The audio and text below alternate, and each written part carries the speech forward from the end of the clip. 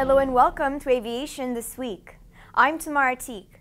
Today's edition is brought to you by Levaero Aviation, your aviation solutions provider.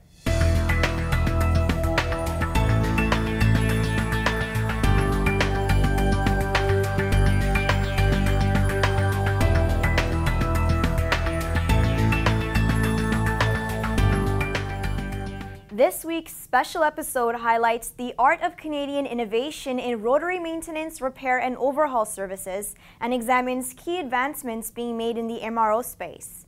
We're taking a look at Heli One's addition of a dedicated engine shop in its new Delta BC facility, Vector Aerospace's approval to offer ADS-B solutions for its light, medium, and heavy helicopters, and Leonardo's launch of a unified support and training brand.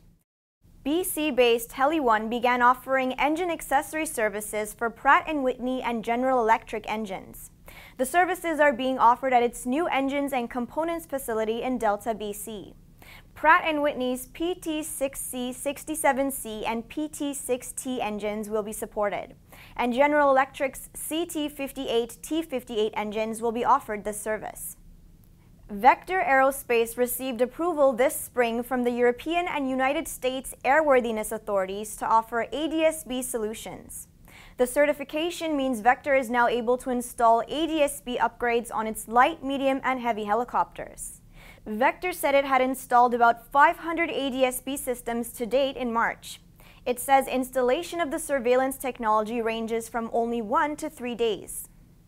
Leonardo created a new brand called Team Up this past spring to amp up its support and training services.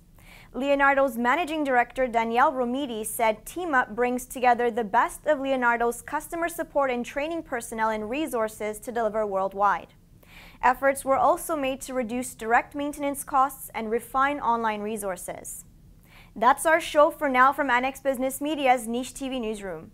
Thank you to our sponsor, Levaero Aviation. On behalf of all of us here at Niche TV, thanks for watching.